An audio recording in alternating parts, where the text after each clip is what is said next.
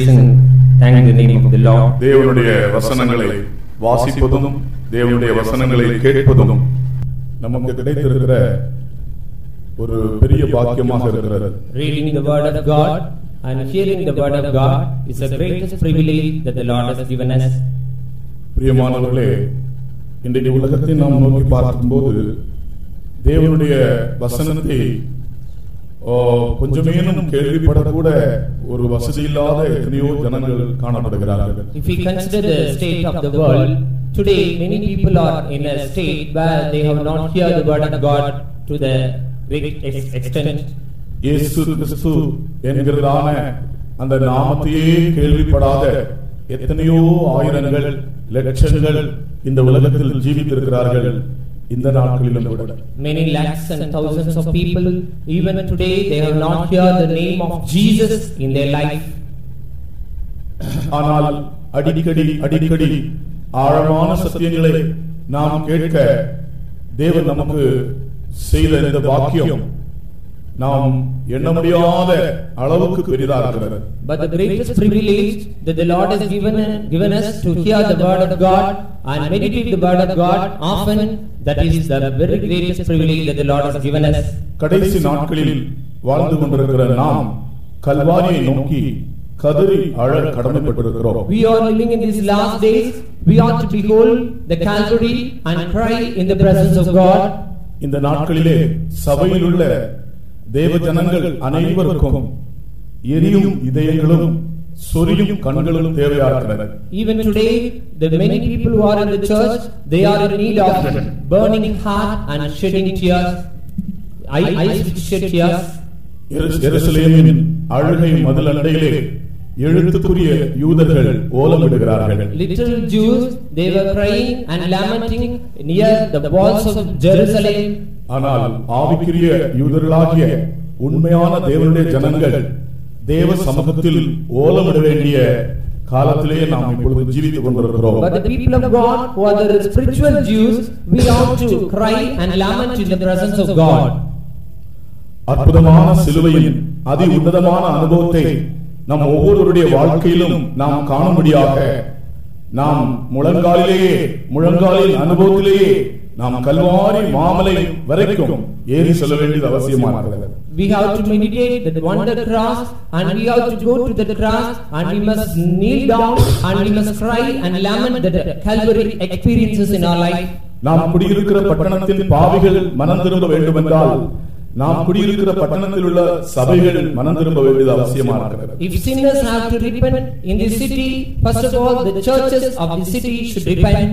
நம்முடைய பிடிவாத புத்திக்கும் நம்முடைய திமிர்வாத மூளைக்கும் என்னென்ன காரியங்கள் அருமையானதாய் தெரிகிறதோ என்னென்ன காரியங்கள் வசீகரிக்கிறதோ அந்த காரியங்கள் எல்லாம் ஆண்டவர் ஆண்டவராகிய இயேசுவின் நாமத்திற்கு நாம் அவருடைய நாமத்தின் மகிமைக்காக அற்பம் என்றும் குப்பை என்றும் வெறுத்து விடும்படியான காலத்திலே நாம் ஜீவித்துக் கொண்டிருக்கிறோம் We are living in this period so that we, for the excellence, uh, for the name of the excellence of the Lord, we have to count and we have, we have to hate all the adamant nature and all presumptuous heart that should be put away in our life. நாட்கள் போக போக நாம் உதறி தள்ள வேண்டியதை உதறி தள்ளி அதுவும் கர்த்தருடைய வசனம் சொல்லுகிறது சீ போ என்று உதறி தள்ள வேண்டுமா ஒரு தேவனுடைய பிள்ளை தன் ஜீவியத்திலிருந்து வேண்டாம் என்று விட்டு விட்டுவிட வேண்டியதை சாதாரணமாக விட்டுவிடக் கூடாதாம் சீ போ என்று வெறுத்து விட வேண்டுமாம். கர்த்தருடைய வசனம் அப்படித்தான் சொல்லுகிறது. The word of God clearly says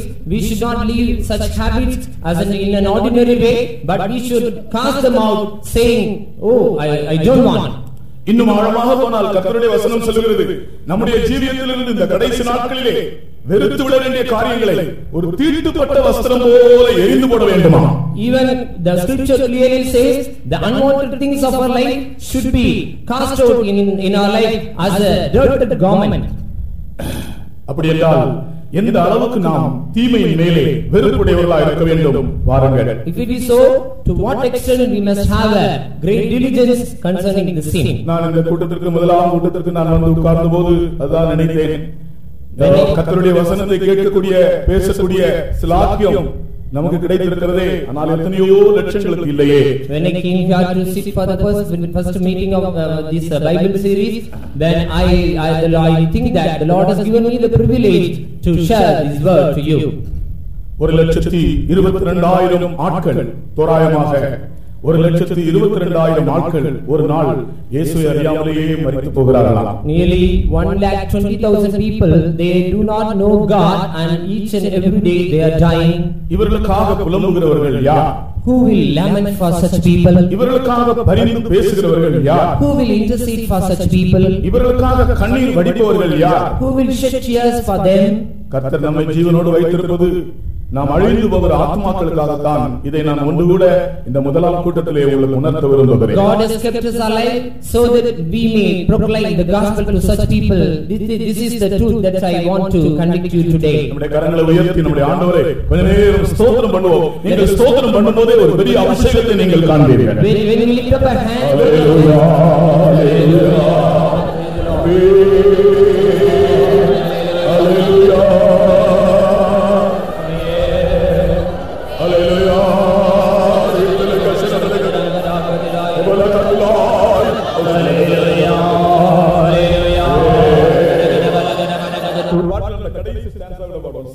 இரு- நம்முடைய வேத பாடத்தின் தலைப்பு ஆமோஸின் ஐந்து தரிசனங்கள் the vision of our Bible study is five visions of Amos.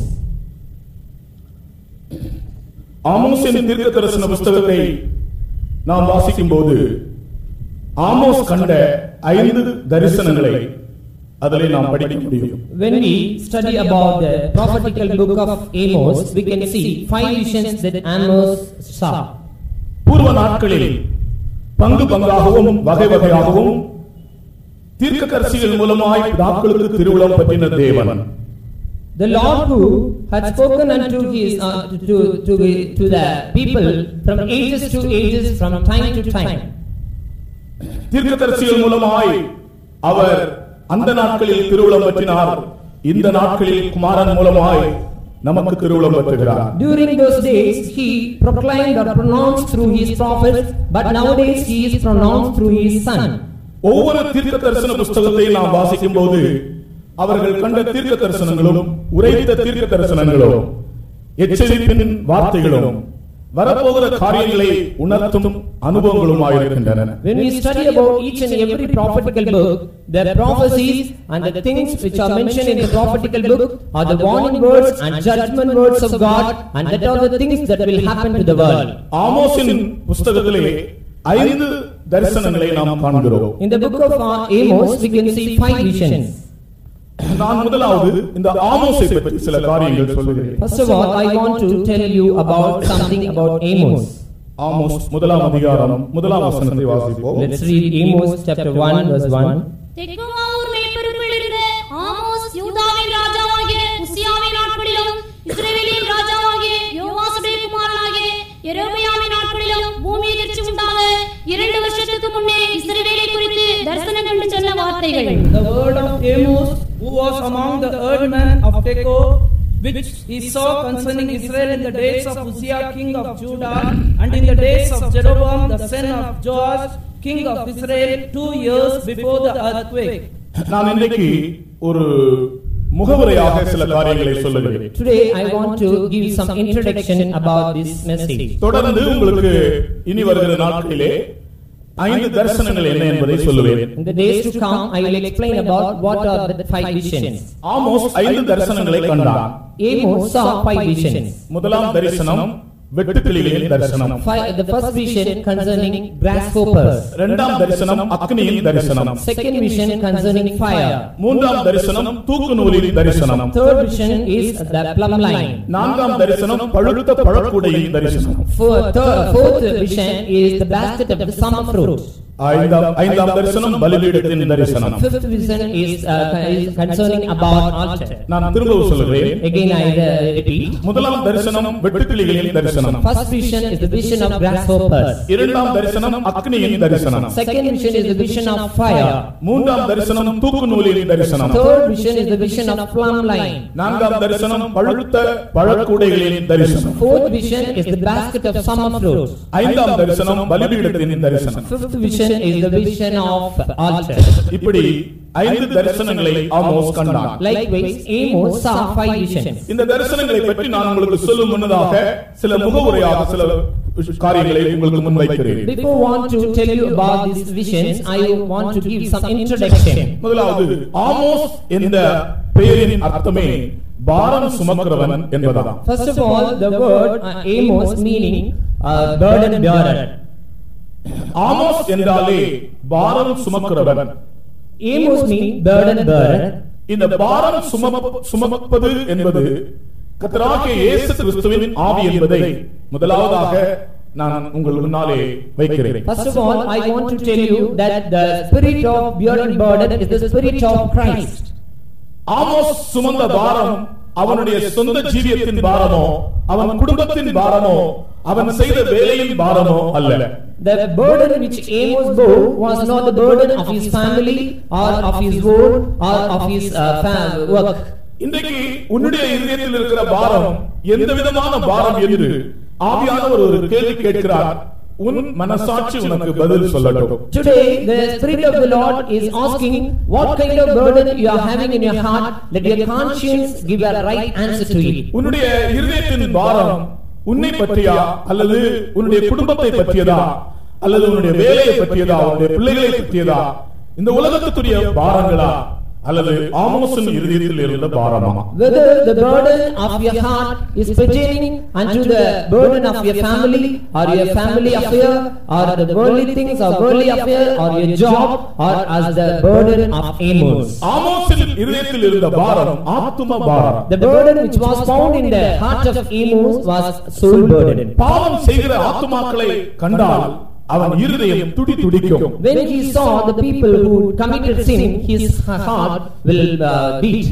ஆட்டுத்தால் விற்கும்படியாக சந்தை வழிக்கு அவன் போகும்போது அங்கே நடக்க- நடக்கிற அநியாயங்களை காணும்போது அவன் இருதயம் பதைத்து அவனுடைய இருதயமானது பாரத்தால் நிறைந்து ஐயோ ஜனங்கள் தேவனை விட்டு விலகி போகிறார்களே என்கிற பாரத்தோடு அவன் வாழ்ந்து கொண்டிருந்தான் When he go to the market to sell the skin of the goat, he saw he saw the people who were toiling in sin. He had a great agony and pain in his heart concerning them. அவனுக்கு தன் குடும்பத்தை பற்றியோ அல்லாவிட்டால் இந்த உலகத்துக்குரிய எந்த காரியங்களை பற்றியோ அவனுடைய இருதயத்தில் பாரம் இல்லை He did not have any burden concerning his family or of the world. அழிந்து போகிற காரியங்களை குறித்துள்ள பாரம் இருதயத்தில் உடையவர்கள் ஆத்ம பாரம் அற்றவர்களாகவே காணப்படுவார்கள் The people those who are having the burden concerning the perishing things, they will never have a burden of soul. ஒரு வினாடி உனக்கு தருகிறேன் உன்னுடைய இதயத்தின் பாரம் எத்தகையது நீ ஒன்று ஆராய்ந்து பார் I give you a moment, you just consider what kind of burden you are having in your heart now. David Livingstone சொன்னாராம் ஆண்டவரே இந்த உலகத்தின் பாவ காயங்கள் எப்பொழுது ஆறும் என்று கேட்டாராம் Living- Livingston cried unto the Lord and asked, when the sins of the whole, uh, sins of the இந்த wound, உலகத்தின் பாவ காயங்கள் எப்பொழுது ஆறும் என்று கேட்டாராம் when the sins of the, when the wounds of the sins of the world will be, when it will be healed. அப்படியே கதறுவாராம் ஆண்டவருடைய He சமூகத்தில் will be crying like anything. எத்தனையோ பேர் பாவத்தால் அழிந்து போகிறார்கள் பிரியமானவர்களே Beloved, many are crying because of sin. ஆண்டவருடைய நாமத்தையே விசுவாசியாமல் இருதய கடினத்தோடு வாழ்கிற உலகத்தின் ஆயிரக்கணக்கான ஜனங்களை நினைத்து இந்த நாட்களில் நாம் ஒரு ஆமோசா இருக்க வேண்டும் பாரம் சுமக்கிறவர்களாக இருக்க வேண்டும் In these days, we must be like Amos, we must have a burden concerning soul, and we must uh, thinking about the thousands of people who are perishing in sins, those who are toiling in sin. கர்த்தராகிய இயேசு கிறிஸ்துவும் சொல்லுகிறார் வருத்தப்பட்டு பாரம் சுமக்கிறவர்களே நீங்கள் எல்லாரும் என்னிடத்தில் வாருங்கள் இந்த கூட்டத்தின் தொடக்கத்திலே நாம் கேட்டோம் அல்லவா Even in the very beginning of our meeting, we heard that Jesus is calling, saying, All ye that are labored and heavy laden, come unto me, I will give you rest unto you.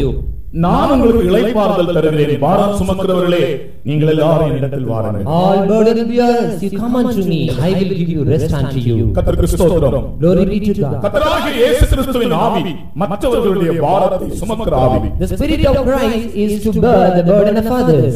அப்போஸ்தலனாகிய பேதுருவும் அதைத்தான் சொல்கிறார் St. Peter also says like that. உங்கள் கவலைகளையும் உங்கள் பாரங்களை எல்லாம் நீங்கள் அவர் மேல் வைத்து விடுங்கள் அவர்தான் ஒரு சுமைதாங்கியாக இருக்கிறார் Because he is a burden bearer, so you cast your worries and burdens upon him. கர்த்தருக்கு ஸ்தோத்திரம் Glory, praise the Lord. பழைய பாட்டின் காலத்திலே நாம் போக்காடு என்று ஒரு ஆட்டை பற்றி படிக்கிறோம் In the Old Testament period, we read about a goat called uh, scapegoat.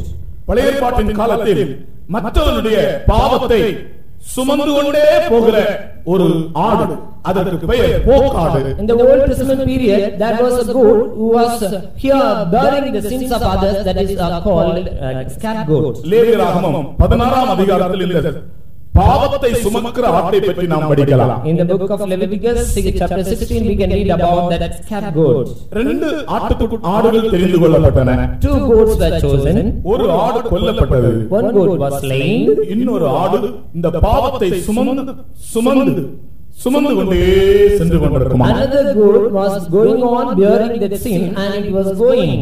பாருங்கள் மற்றவருடைய பாவத்தை தன்மேல் சுமந்து கொண்டு இந்த ஆடு போய்கொண்டே இருக்குமா This goat is bearing the sins of others and it is going on proceeding, proceed- proceeding his journey. அது போக போக நான் சுமக்கிறேன் சுமக்கிறேன் சுமக்கிறேன் என்று சொல்லிக்கொண்டே போகும் என்று நினைத்துக் கொள்ளுங்கள் You just think that when he goes, at the time he say, it says, I am bearing, I am bearing, I am bearing and go. எந்த மனிதனுடைய பாவம் அதன் மேல் சுமத்தப்பட்டதோ அந்த மனிதன் நின்று பார்த்துக் கொண்டே நிற்கிறான் The man whose sin was laid on the goat, he is keenly observing the goat.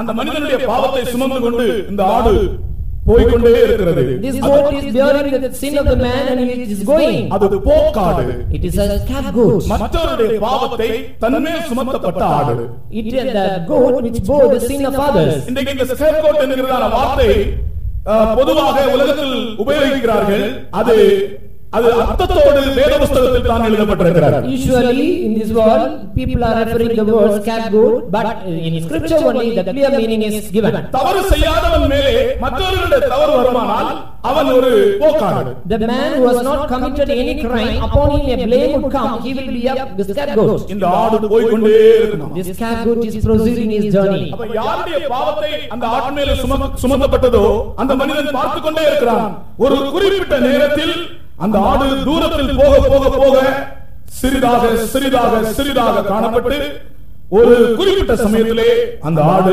மறைந்து போகிறது The man whose sin was laid on the scapegoat, it is going on proceeding, the man is keenly observing that the goat is going on proceeding its journey and it vanishes and diminishes in size and completely disappears. கடைசியிலே அந்த ஆடு மறைந்து போகிறது Finally, the scapegoat disappears. இப்படித்தான் கத்தராகிய இயேசு கிறிஸ்துவும் நம்முடைய பாவத்தை சுமந்து சுமந்து தீர்த்தார் Likewise, Jesus has borne all our sins and he has finished. அது போக போக எப்படி உருவத்தில் சிறிதாகிறதோ அதுபோல அந்த பாவமும் மறைந்து மறைந்து மாய்ந்து கடைசியில் ஒன்றுமில்லாமல். As he takes his journey to, uh, to uh, as he takes his journey, then going on, that uh, image is becoming diminished and finally it disappears. கர்த்தராகிய இயேசு கிறிஸ்து உலகத்தின் பாவத்தை சுமந்து சுமக்கிறவர் மாத்திரமல்ல சுமந்து தீர்க்கிற தேவன் Our Lord Jesus Christ, not only he bears the sins of the whole mankind, but he bears and finishes all the அவர். அவர் சுமந்தார்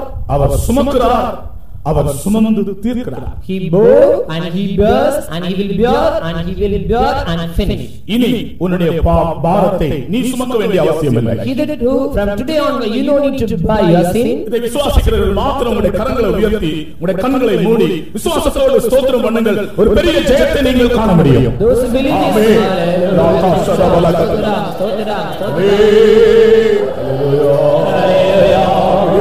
stotram. Praise the Lord, stotram, stotram, stotram, stotram,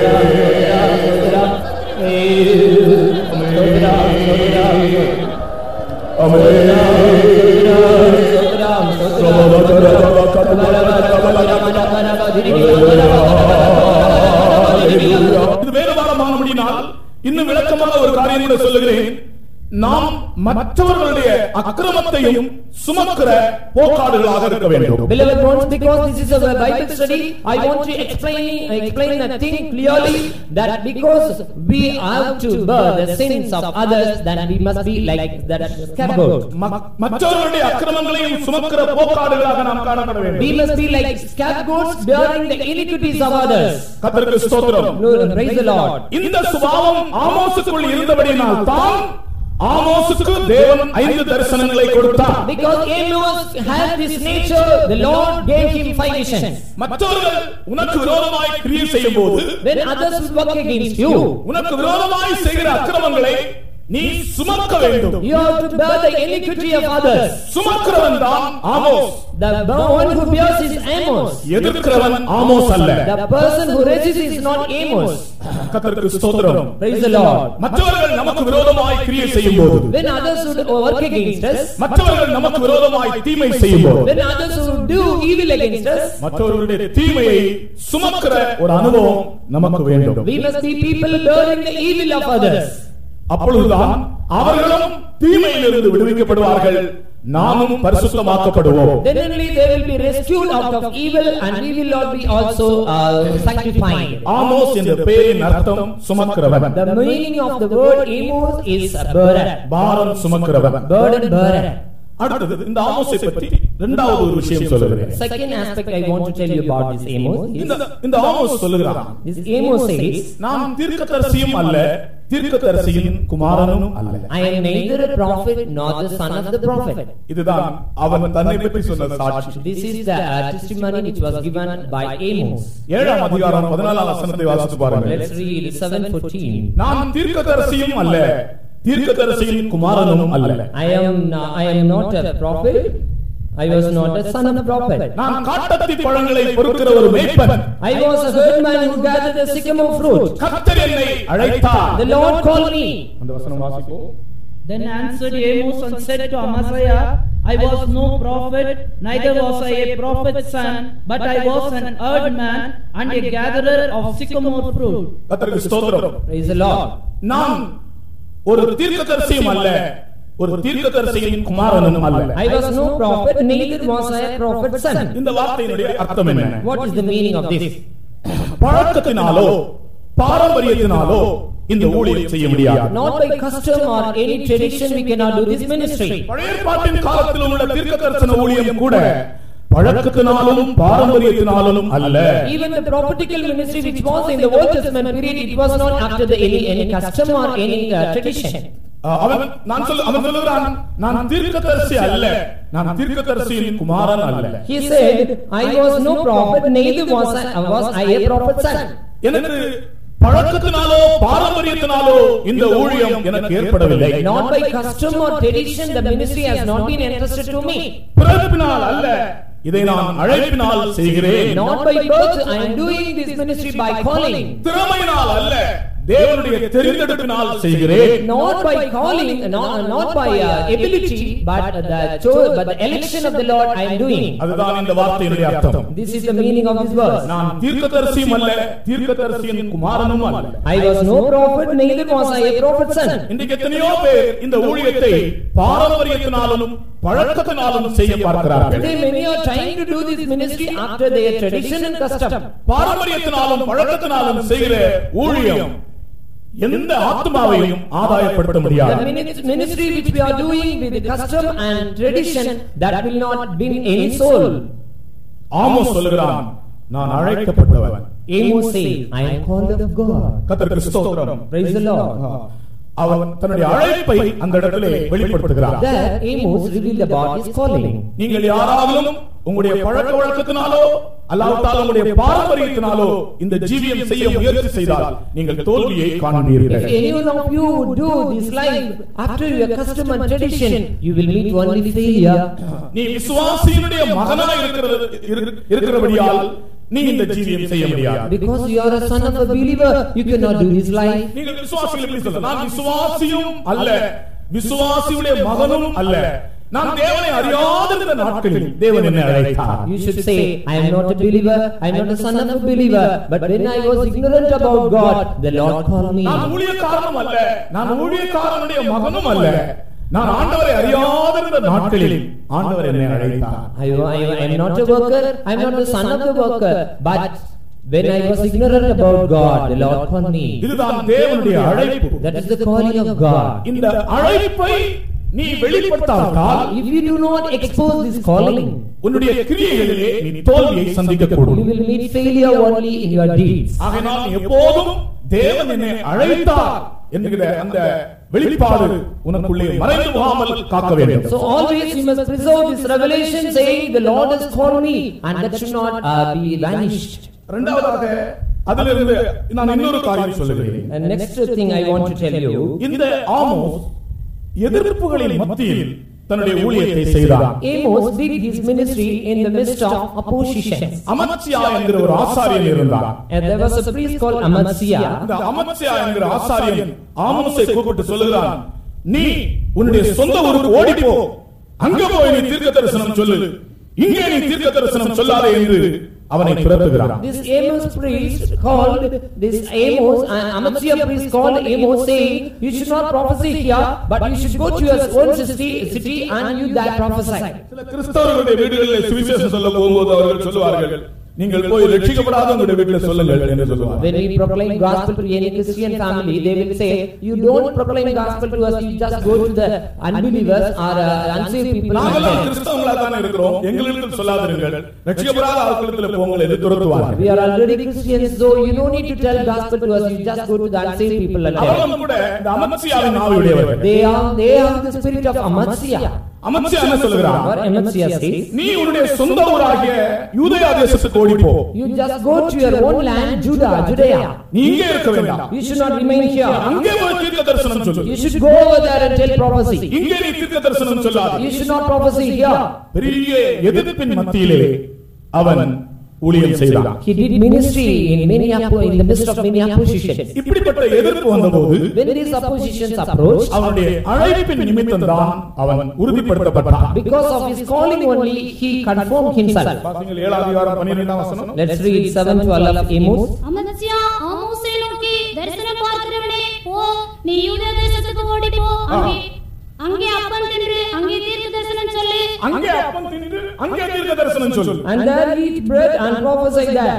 அப்படி என்றால் இந்த அமர்ச்சியாவுடைய வெளிப்படுத்தல் தீர்க்க தரிசனம் சொல்லுவது அப்பம் தின்றதற்காக என்றுதான் If it is so, the revelation of Amos is to just eat bread. சாப்பாட்டிற்காக பயத்தை நிரப்பும்படியாக செய்கிற ஊழியம் In order to fill his stomach, he did ministry. நீ அங்கே போய் அப்பம் தின்று அங்கே தீர்க்க தரிசனம் சொல்லு You just go over there and eat bread and prophesy there.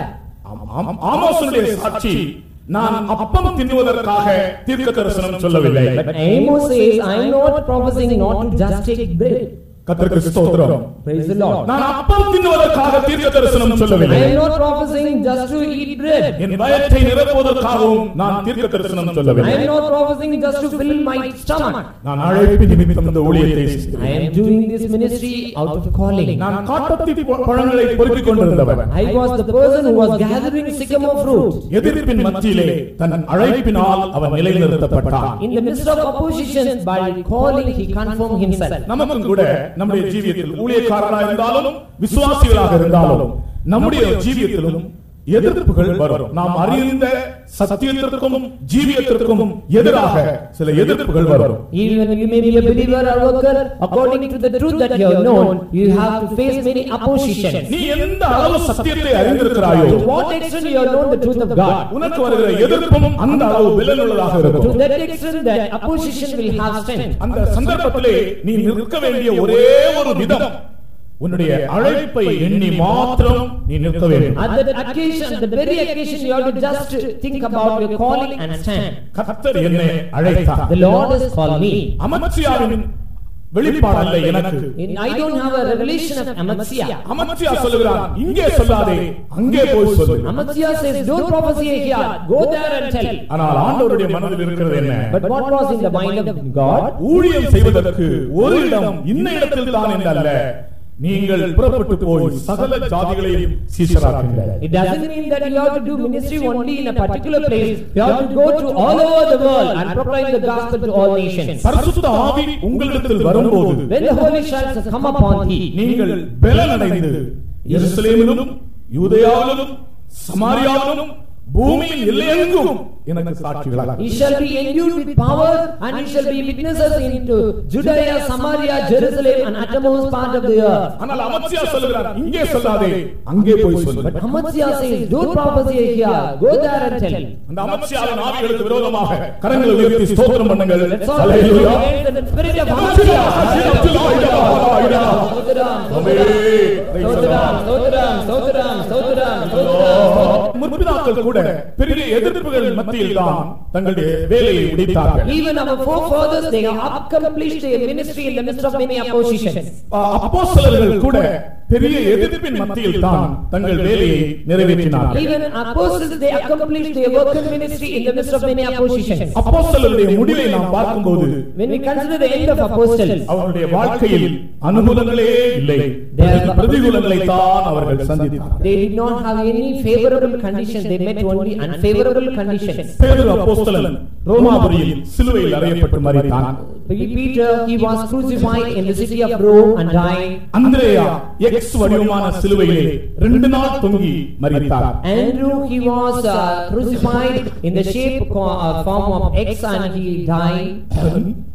யோவான் அப்போஸ்தலன் தன்னுடைய நூறு வயதிலே இயற்கை மரணம் எய்தினார் ஆனால் அதற்கு முன் அவர் பட்ட பாடுகளுக்கு கணக்கே இல்லை John the apostle, he was, he met a yeah, natural death uh, in the land of Patmos, but uh, before that he met many oppositions.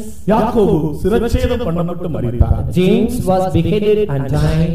தோமா அப்போஸ்தலன் சென்னை பட்டணத்திலே ஈட்டினால் குத்தப்பட்டு மரித்தார் அவர் ஈட்டினால் குத்தப்படும் போது அவர் ஜெபித்துக் கொண்டே இருந்தார் Thomas, when he was pierced with spear in the city of Chennai, at that time he was praying. நீதிமானுடைய ரத்தம் சிந்தப்பட்ட பட்டணம் அது uh, that was the city where the blood of righteous was shed. நான் ஒரு நாள் ஆவேலை பற்றி படித்துக் கொண்டிருந்தேன் Once when I was studying about Abel, நீதிமானுடைய ரத்தத்தை குடிக்கும்படி தன் வாயை திறந்த நிலம் என்று வாசித்த உடனே எனக்கு உடனே தோமாவுடைய மரணத்தை பற்றி ஞாபகம் வந்தது. ஆண்டவரே இது அப்படியானால் இந்த தோமாவுடைய ரத்தத்தை கூட குடிக்கும்படி வாய் திறந்த நிலம் அந்த நிலமும் அப்படித்தானே என்று நினைத்தேன் when I happened to read a verse that the land which opens the mouth to take the blood of the righteous, at the time I had a thought about this uh, um, Thomas. He was, this is the city, it also opened its mouth to take the blood of the righteous. இந்த முதல் கூட்டத்தில் நான் சொல்லுவேன் Even the first meeting I say, ஆவியானவருடைய ஏவுதலால் சொல்லுவேன் because of the urging of the Spirit of the Lord I say.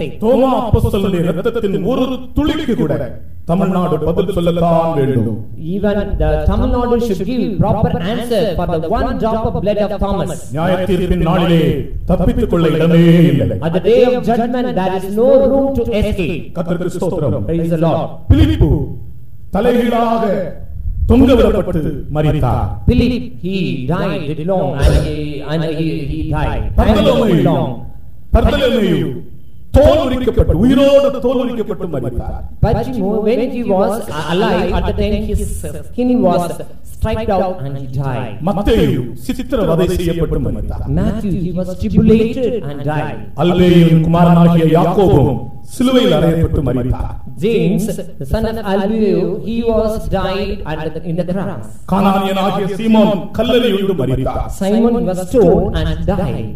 ததேயு என்னப்பட்ட Lebbaeus அம்பு எய்யப்பட்டு மரித்தார் Lebeu, he was uh, um, uh, uh, died with arrows. ஒவ்வொரு அப்போஸ்தலர்களும் எதிர்ப்பின் மத்தியிலே இயேசுவின் நாமத்தில் வெற்றி கண்டவர்கள் Each and every, every apostle, they got victory in the midst of many oppositions. அவருடைய மரணம் கிறிஸ்தவ மார்க்கத்தை பூண்டோடு துவாம்சம் செய்துவிடும் என்று எண்ணினவர்கள் வெட்கப்பட்டு விட்டார்கள் Those who thought that their death will demolish the Christendom, they got ashamed.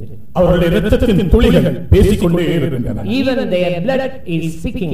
கர்த்தருக்கு ஸ்தோத்திரம் Praise the Lord. ஆமோசும் கூட எதிர்ப்புகள் மத்தியிலே தீர்க்க தரிசனம் சொன்னவன் Even, e- even Amos, he prophesied in the midst of many oppositions. எதிர்ப்புகள் வரும்போது பயப்படாதீர்கள் When oppositions would arise, don't fear. உங்களுக்கு விரோதமாய் சாத்தான் கிரியை செய்ய எழும்பும்போது பயப்படாதீர்கள் When Satan will arise to work against you, fear thou not. உலகத்தில் இருக்கிறவனை பார்க்கிலும் உங்களுக்குள் இருக்கிறவர் பெரியவர். அல்லேலூயா. The Lord who is in you is greater than the பெரியவர். அல்லேலூயா. உலகத்தில் இருக்கிறவனை பார்க்கிலும் உங்களுக்குள் இருக்கிறவர் பெரியவர். அந்த பெரியவர் என்று விசுவாசிக்கிறவர்களாம் ஒரு அல்லேலூயா சொல்லும் போதே தெரியும் அவர் பெரியவர் எப்படியவர் உலகத்தில் இருக்கிறவனை பார்க்கிலும் உங்களுக்குள் இருக்கிறவர் பெரியவர். The one who is in you is greater than the one who is in the world. எதிர்ப்புகளும் பிரதிகூலங்களும் வரும்போது ஏராளமான கிருபை உன்னை சூழ்ந்து கொள்ளும் When unfavorable climax and when the oppositions would come, the grace of God will encamp at you. அப்போஸ்தலனாகிய பேதுருவின் பிரசங்கத்தில் மூவாயிரம் பேர் ஞானஸ்நானம் பெற்றார்கள் 3,000 people took baptism when they hear the sermon of Peter.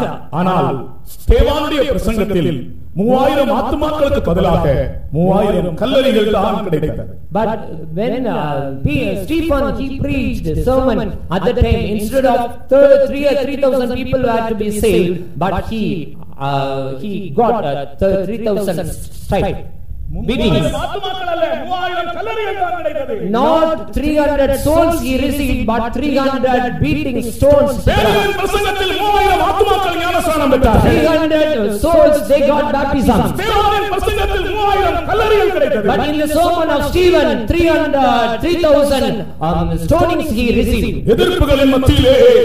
ஊழியத்தை ஜெயத்தோடு முடித்தார் In the midst of oppositions, he finished his ministry victoriously. எதிர்ப்புகள் வரும்போது இருதயத்தில் கசப்புகளை குடிகளை இடப்படாதீர்கள் When oppositions would arise, don't allow bitterness to root up. கர்த்தாவே இவர்களுக்கு மன்னியும் என்று சொல்லக்கூடிய அன்பின் இருதயத்தை விசாலமான இருதயத்தை பெற்றுக் We கொள்ளுங்கள் must have a broadened heart and we must have a loving heart so that we may say, Lord, forgive them. நான் தீர்க்கதரிசியும் அல்ல I am not a prophet. தீர்க்கதரிசியின் I am Kumaran not a son of a prophet. அடுத்தது இந்த ஆமோஸை பற்றி மூன்றாவது காரியம் The third aspect about Amos, இந்த Amos எட்டு பட்டணங்களுக்கு விரோதமாய் தீர்க்க தரிசனம் சொன்னான் Amos uh, prophesied against eight different cities. ஆ, முதல் பட்டணம் தமஸ்கு First uh, city is Damascus. இரண்டாவது பட்டணம் காத்சா uh, city is Gaza. மூன்றாவது பட்டணம் தீரு third uh, city is Tyrus. நாலாவது பட்டணம் ஏதோ uh, is uh, Edom. ஐந்தாவது பட்டணம் அம்மோ Fifth city is Ammon. ஆறாவது பட்டணம் மோவா Uh, the sixth city is Moab. ஏழாவது பட்டணம் யூதா Seventh city is Judah. எட்டாவது இஸ்ரவேல் Eighth city is Israel. இந்த எட்டு பட்டணங்களுக்கு விரோதமாய் ஜனங்களுக்கு விரோதமாய் ஆமோஸ் தீர்க்க தரிசனம் உரைத்தார் Amos prophesied against these eight cities and eight uh, cities of people. நீங்கள் ஆமோஸின் தீர்க்க தரிசனங்கள் ஒவ்வொன்றையும் அவன் கண்ட தரிசனங்கள் ஒவ்வொன்றையும் நீங்கள் வாசித்தால் அனைத்துமே நியாய தீர்ப்பின் தரிசனங்களாய்த்தான் இருந்தன When you consider each and every vision of Amos, they are picturing about judgment. எல்லா ஐந்து தரிசனங்களும் நியாய தீர்ப்பின் தரிசனங்களாய்த்தான் காணப்பட்டது The five visions that he had seen is pertaining about uh, judgment. ஆனால் நான் உங்களுக்கு சொல்லுகிறேன் But I want to tell you, தேவன் உலகத்தை நியாயம் தீர்க்க விரும்பவில்லை the Lord want, never wants to judge the world. யோவான் மூன்றாம் அதிகாரம் பதினேழாம் வசனத்தை வாசித்து Uh, பாருங்கள் you just read uh, uh, John 3:17. இந்த உலகத்தை நியாயம் தீர்க்கும்படி தேவன் தன் குமாரனை இந்த உலகத்துக்கு அனுப்பவில்லை God had not sent his son to condemn the world. For God sent not his Son into the world to condemn the world, but that the world through him might be saved. உலகத்தை ஆக்கினைக்குள்ளாக தீர்க்கும்படி தேவன் தம்முடைய குமாரனை உலகத்தில் அனுப்பாமல் அவராலே உலகம் ரட்சிக்கப்படுவதற்காகவே அவரை அனுப்பினார் ஆமோஸின் ஐந்து தரிசனங்களும் நியாய தீர்ப்பின் தரிசனங்கள் The, the five visions of Amos pertaining about judgment. ஆனால் தேவனுடைய மனதில் இருக்கிற காரியம் என்ன தெரியுமா But you know what is in the mind of God? இந்த ஜனங்கள் நியாயம் தீர்க்கப்படக்கூடாது மனம் திரும்ப வேண்டும் என்கிற எண்ணத்தோடு தான் இந்த ஐந்து தரிசனங்களையும் அவர் காண்பிக்கிறார் God had shown to Amos saying that these people should not be judged, these people should not need any uh, condemnation. அதற்கு எடுத்துக்காட்டாக ஆமோஸின் புஸ்தகத்திலிருந்து ரெண்டு எல்லாருக்கும் தெரிந்த ரெண்டு வசனங்களை உங்களுக்கு சொல்லுகிறேன் For example, I want to tell you a clear fact. I want to tell two verses, familiar verses from I the book of Amos. ஆமோஸின் புஸ்தகத்தில் எல்லாருக்கும் தெரிந்த ரெண்டு வசனங்கள் உண்டு Uh, there are two familiar verses. Uh, all of you know about the verses in the book of Amos. Amos நாலாம் அதிகாரம் பன்னிரெண்டாம் வசனம் இன்னொன்று ஆமோஸ் ஒன்பதாம் அதிகாரம் பன்னிரெண்டாம் வசனம் Amos 4:12 and 9:12. இந்த ரெண்டு வசனங்களும் முதல் வசனத்திலே உன் தேவனை சந்திக்க நீ ஆயத்தப்படு என்று சொல்லுகிறார் And the first verse says, "Prepare to meet thy God." நாலு பன்னிரெண்டிலே 4:12. Therefore, thus will I, O Israel, and because I will do this unto thee, prepare to meet thy God, O Israel. ஆகையால் இஸ்ரவேலே இந்த பிரகாரமாக நான் உனக்கு செய்வேன் இஸ்ரவேலே நான் இப்படி உனக்கு செய்ய போகிறபடினால் உன் தேவனை சந்திக்கும்படி ஆயத்தப்படு பாருங்கள் தரிசனத்தை காண்பித்த தரிசனம் நியாய தீர்ப்பின் தரிசனம் ஆனால் ஆண்டவர் சொல்லுகிற வார்த்தை உன் தேவனை சந்திக்க ஆயத்தப்படு The vision that was shown to Amos was the vision concerning judgment, but the Lord said unto Amos, saying, Prepare to meet thy God. உன்னுடைய தேவனை சந்திக்க ஆயத்தப்படு என்கிற வார்த்தை நீ ஆயத்திலே இயேசு வரும்போது சந்திக்க ஆயத்தப்படு என்கிற நோக்கத்தோடு அல்ல அங்கே சொல்லப்பட்டது Prepare to meet thy God is not meant that when Jesus will come, you have to meet him. ஆனால் எல்லாரும் பொதுவாக சொல்லுவது உன் தேவனை சந்திக்க ஆயத்தப்படு என்றால் வருகையிலே சந்திக்க ஆயத்தப்படுவதை தான் சொல்லுகிறார்கள் Usually people are thinking that when prepare to meet thy God means when Jesus will come, we have to meet him. ஆனால் அதனுடைய அது சொல்லப்பட்ட நோக்கம் அதுவல்ல But it is not the purpose that is written here. இப்பொழுது நீ தேவ சமூகத்துக்கு போய் தேவனை சந்திக்க ஒரு ஆயத்தம் உனக்கு வேண்டும். Now you are in, you are in need of worthiness and qualification to go to the presence of God and to meet him. கர்த்தருக்கு ஸ்தோத்திரம். Praise the Lord. கர்த்தர் சொல்லுகிறார் உன்மேல் பயங்கரமான நியாய தீர்ப்பு வரப்போகிறது. ஆகையால் உன் தேவனை சந்திக்க நீ ஆயத்தப்படு. ஆயத்தப்படு என்றால் நீ திருந்திக் கொள் நீ சுத்திகரிக்கப்படு. உன் பாவங்களை விட்டு விலகிவிடு. ஆண்டவரிடத்தில் மன்னிப்பு கேள் தேவ சமூகத்தில் அவரை சந்திக்க ஆயத்தப்படு இதுதான் அதனுடைய அர்த்தம் The meaning of the law saying from uh, prepare to meet the God means you confess your sins, rectify yourself, sanctify yourself, cleanse yourself, and you confess all your sins and be ready to meet Him. கர்த்தருக்கு ஸ்தோத்திரம் Praise the Lord. இப்பொழுது நாம் இருக்கிற இடத்திலே அவரை தேடும்போது அவரை சந்திக்க நமக்கு ஒரு ஆயத்தம் தேவை In the place where we are, when we worship Him, we, are in need of worthiness to uh, meet Him. நீ முழங்கால் படியிட்டு ஜெபிக்கும் போது உன் தேவனை சந்திக்க அங்கே உனக்கு ஒரு ஆயத்தம் தேவை When you kneel down, at the time you are in need of preparation so that you may meet God. ரெண்டோ மூன்றோ பேர் அவருடைய நாமத்தில் கூடுகிற இடத்தில் அவர் வருகிறாரே அப்பொழுது அவரை சந்திக்க உனக்கு ஒரு ஆயத்தம் தேவை When two or three are get together, at the time the Lord is coming, at the time you are in need of worthiness to meet Him. நீ சபை கூடி வரக்கு வருகிறாயே தேவன் அங்கே வருகிறார் அப்பொழுது நீ அவரை சந்திக்க உனக்கு ஒரு ஆயத்தம் தேவை For the gathering of the assembly, you are coming, at the time the Lord is also coming, there you are in need of worthiness to meet Him.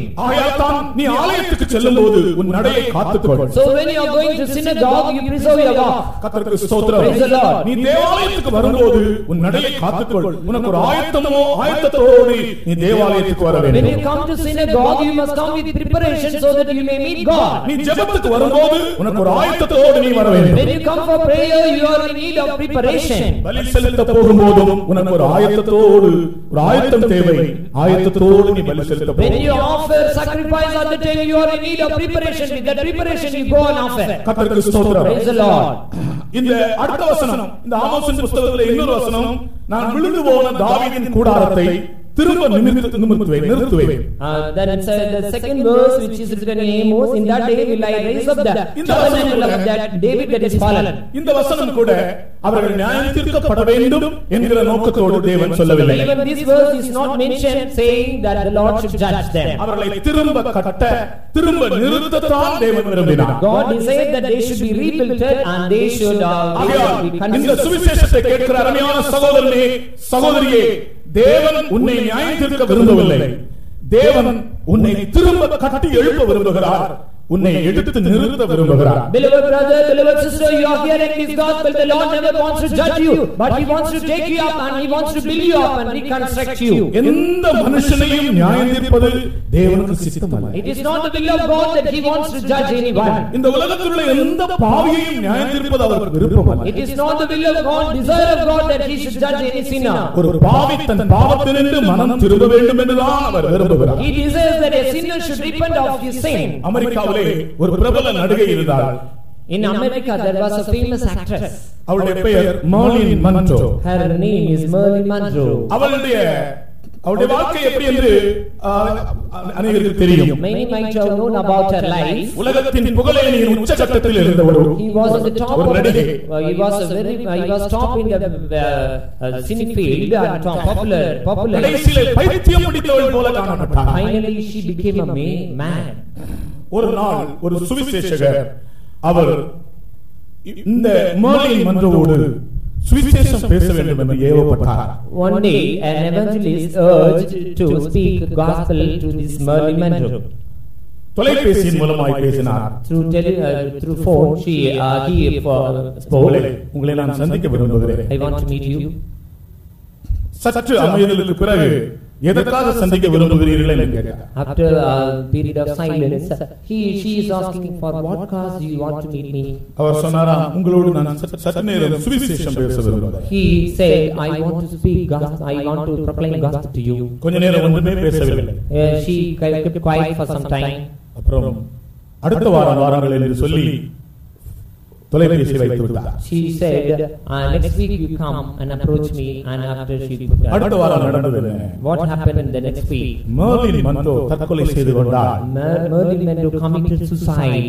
ஒவ்வொரு தனி மனிதனுடைய வாழ்க்கையை குறித்தும் ஆண்டவர் கருத்துடையவராக இருக்கிறார் பிரியமானவர்களே Lord has a great concern about each and every individual of the world.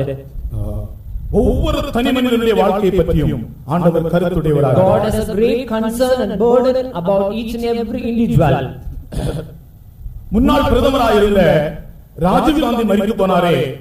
நம்ம எல்லாருக்கும் தெரிந்த ஒரு விஷயத்தை சொல்லுகிறேன். அவர் மரிப்பதற்கும் சற்று சில நாட்களுக்கு முன்பு இப்பொழுது நாம் இருக்கிற- இங்கே இருக்கிற ஜீவனோடு இருக்கிறார் பாஸ்டர் மேனன் அவர்கள். அவரை சந்தித்து பேச வேண்டும் என்று அவர்களை நேரடியாக உத்தரவு கேட்டுக் கொண்டார்கள் Uh, you know all about uh, former Prime Minister Rajiv Gandhi.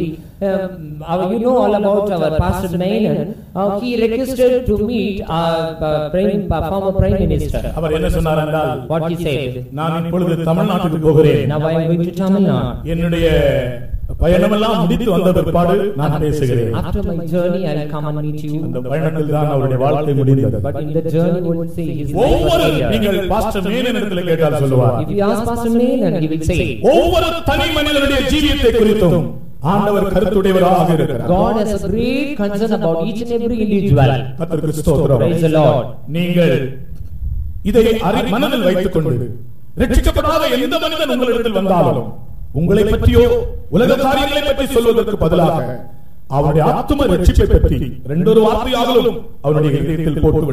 Instead, uh, you keep this fact in your heart, and when a sinner or unsaved people will approach you, you just tell about the truth of God instead of saying worldly affairs or the things about pretending. God is not a God of judgment. But these five visions pertaining about judgment, this is warning judgment. that man may repent unto God. கர்த்தருக்கு ஸ்தோத்திரம். Praise the Lord. அடுத்ததாக Nextly, இந்த எட்டு பட்டணங்களுக்கு அவர் சொல்லுகிற இந்த முதலாம் அதிகாரம் முழுவதையும் நீங்கள் நாளைக்கு வீட்டில் இருந்து வாசித்து வர பாருங்கள். And uh, tomorrow you just go through the first chapter, whole first chapter.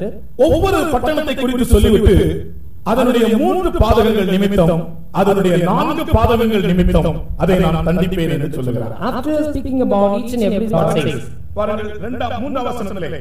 தமஸ்குனுடைய மூன்று பாதகங்கள் நிமித்தமும் நாலு பாதகங்கள் நிமித்தமும். அடுத்தது ஆறாம் வசனம். காத்சாவுடைய மூன்று பாதகங்கள் நிமித்தமும் நாலு பாதகங்கள் நிமித்தமும். ஒன்பதாம் வசனம். தீருவனுடைய மூன்று பாதகங்கள் நிமித்தமும் நாலு பாதகங்கள் நிமித்தமும். இப்படி எட்டு பட்டணங்களை பற்றியும் மூன்று பாதகங்கள் நிமித்தமும் நாலு பாதகங்கள் நிமித்தமும் என்று சொல்லுகிறார் For Damascus, for Gaza, uh, for Tyrus, for each and every city, you consider for three transgressions and four transgressions, I will punish, the Lord says. இதற்கு நான் மூன்று அர்த்தங்கள் சொல்லுகிறேன் I want to give three explanations for this. இந்த இந்த மூன்று பாதகங்கள் நான்கு பாதகங்கள் என்று சொல்லுகிறாரே இதற்கு நான் மூன்று விளக்கங்கள் சொல்லுகிறேன் I want to give the three explanations about these three uh, transgressions and four transgressions. எனக்கு கூட எத்தனையோ நாட்கள் இந்த வசனத்தை நான் படித்திருக்கிறேன் ஆனால் அதை நான் பொதுவாக சாதாரணமாக படித்து போவேன் அதை பற்றி சிந்தித்ததே இல்லை I too have studied about these verses very often, but I not uh, think about these verses. அதற்கு மூன்று அர்த்தங்கள் உண்டு There are three explanations for this verse. முதலாவதாக The first one is தேவன் பாதகங்களை எண்ணுகிறார் God is counting each and every transgression. ஆகையினால் தான் மூன்று பாதகம் நாலு பாதகம் என்று சொல்லுகிறார் That's why the Lord says three transgressions and four transgressions. நம்முடைய ஜீவியத்திலே நாம் ஒரு தவறு செய்தால் அந்த தவறை நீங்கள் கஞ்சாலையாய் விட்டுவிடக் கூடாது தேவன் அக்கிரமங்களையும் பாதகங்களையும் எண்ணுகிறார் Even when you are like when you commit mistake or when shortcoming come, you should uh, you should not see or you should not be like a perfect people those who do not see, but the Lord uh, is counting such things. சங்கீதக்காரன் ஒரு இடத்தில் சொல்கிறான் ஆண்டவரே அக்கிரமங்களை நீ நினைவு கூறுவார் கூறுவீரானால் யார் உம்மிடத்தில் நிற்பானா Uh, David psalmist says, if the Lord would remember all our sins, who will stand before thee?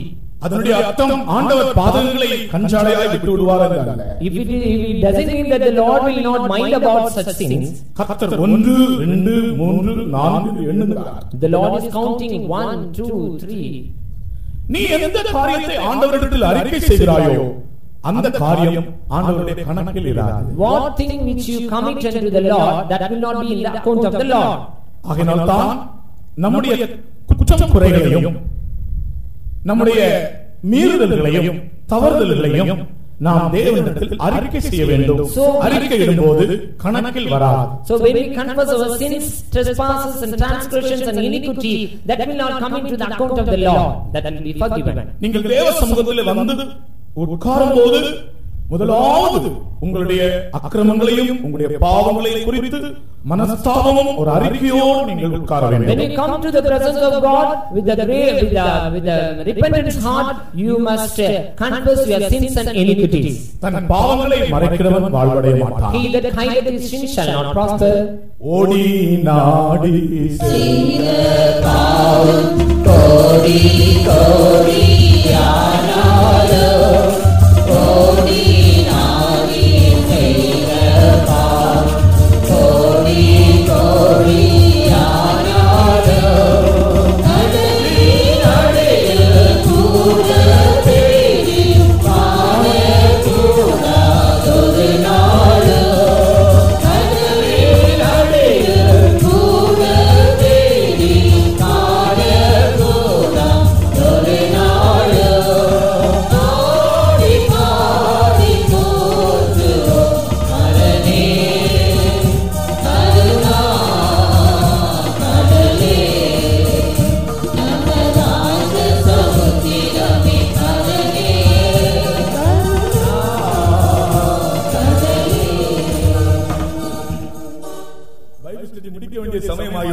இல்லாட்டி அந்த பாட்டு ஃபுல்லா பாடிடுவேன் The time to finish, the time is uh, getting near to finish our Bible study, otherwise I would sing this song full. கர்த்தருக்கு ஸ்தோத்திரம் Praise the Lord. மூன்று பாதகம் நான்கு பாதகம் என்று சொன்னால் தேவன் பாதகங்களை எண்ணிக்கை இடுகிறார் If we say three transgressions and four transgressions, means the Lord is counting each and every uh, transgression. யாரும் காணவில்லை என்று சொல்லி அக்கிரமத்திலேயே நீங்கள் வாழாதிருங்க You don't live in iniquity, saying others do not see that. அடுத்தது இதனுடைய இரண்டாவது ஒரு அர்த்தம். இந்த மூன்று பாதகம் நாலு பாதகத்தினுடைய இரண்டாவது ஒரு விளக்கம். The second explanation about saying three transgressions and four transgressions. பாருங்கள். ஒன்று ரெண்டு மூன்று நாலு இப்படி. செய்த பாவத்தையே திரும்ப திரும்ப செய்கிறார்கள் They are also committing the sins again and again. That is one, one, two, three, and again and again they are committing. செய்த பாவத்தையே திரும்ப திரும்ப செய்கிறார்கள் They are committing the sins that they have committed again and again, that, that they have committed. தவறு தவறு செய்கிறவன் முட்டாள் அல்ல தவறையே செய்கிறவன் முட்டாள் The man who commits is not a fool. The man who is always committing sin, is fool.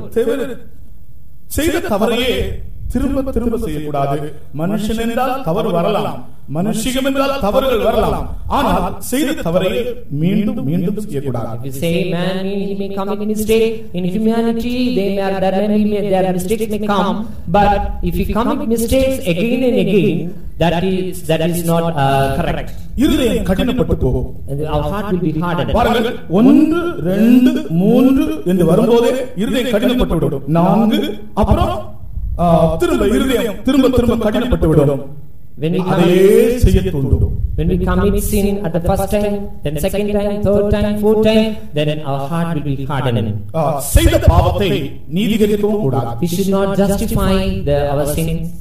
எங்க வாத்தியார் ஒரு கதை சொல்லியிருந்தாங்க Our uh, teacher has told us so story. ஒரு திருடன் தேங்காய் திருட போனானா Once a thief went to uh, steal uh, coconut.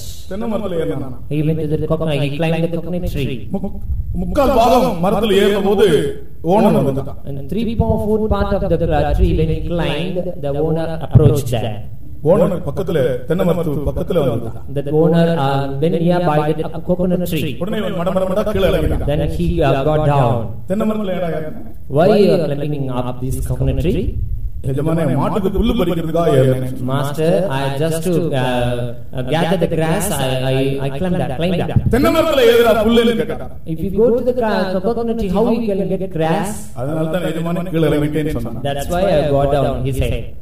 இப்படி சிலர் தாங்கள் செய்கிற காரியத்துக்கு ஒரு சாக்கு போக்கு சொல்லி ஏதாவது ஒன்று சொல்லி அதை நீதி வைக்க பார்க்கிறார்கள் Like this, they are telling many lame excuses and justify themselves.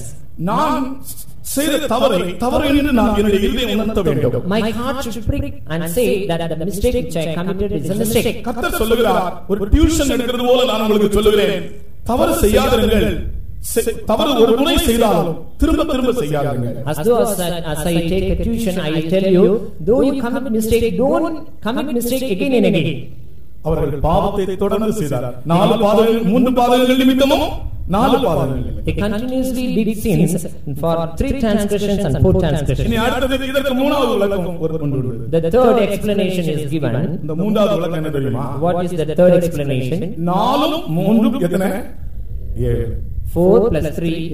அவர் சொல்லுகிறார் இந்த எட்டு பட்டணங்களுடைய பெயரை சொல்லி சொல்லுகிறார். நாலு பாதங்கள் மூன்று பாதங்கள் நிமித்தமும் நான்கு பாதங்கள் நிமித்தமும் நான் அதை தண்டிப்பேன் நாலும் மூன்றும் About these eight cities, he says, for three transgressions and four transgressions, that is three plus four, seven, that is perfection. உன்னுடைய அக்கிரமம் பூரணமாகும் போது தேவன் உன்னை தண்டிப்பார் When your iniqu- iniquity will be perfected, the Lord will judge thee. அந்த ஜனங்களுடைய பாதகங்கள் பூர்ணமாயிற்று Their transgressions God perfected. ஆகையினால் தேவன் அவர்களை தண்டிக்கும்படி வந்தார் That's why the Lord came down to judge them. கர்த்தருக்கு ஸ்தோத்திரம் Praise the Lord. அடுத்ததாக இந்த எட்டு பட்டணங்களுடைய பெயரை சொல்லி அவைகளுடைய சுவாவம் என்ன அவர்கள் என்ன தீமை செய்தார்கள் என்று சுருக்கமாக சொல்லி முடிக்கிறேன் As in a short way, I want to tell you about the names of the eight cities and what were their transgressions and uh, I, I finish it. முதலாவது பட்டணம் தமஸ்கு The first city is Damascus. Amos தமஸ்குக்கு விரோதமாய் தீர்க்க தரிசனம் உரைத்தார் Amos prophesied against Damascus. இந்த தமஸ்குனுடைய பாதகம் என்ன What was the transgression of Damascus? முதலாம் அதிகாரம் மூன்றாம் வசனம் தெரிவிக்கிறது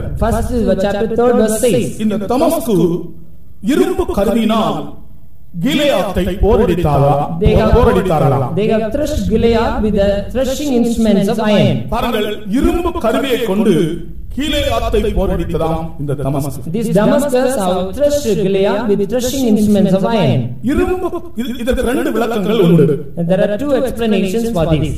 இரும்பு கருவி தமஸ்குக்கு ஒரு இரும்பு கருவி இருந்தது Uh, Damascus has uh, instruments of iron. அது துன்பப்படுத்தும் ஆவியை காண்பிக்கிறது That is the that shows the uh, spirit of persecution. இன்றைக்கு உலகத்திலே துன்பப்படுத்துகிற ஆவி தலை தூக்கி தலை விரித்து தாண்டவம் ஆடிக்கொண்டிருக்கிறது Today in this world we see the spirit of persecution is uh, is uh, vi- violently walking.